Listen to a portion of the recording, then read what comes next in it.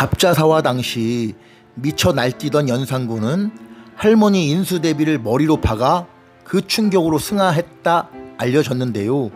이건 야사일 뿐이고 실록에는 아버지의 두 후궁을 때려 죽이고 귀인 정씨의 소생 안양군과 봉황군의 머리채를 질질 끌고 가 왜 어머니를 죽이셨냐 소리쳤다는데요. 비록 머리로 박은 폭력은 없었지만 전부터 깊어진 병세와 정신적 충격이 더해 인수대비는 한 달 후에 사망합니다.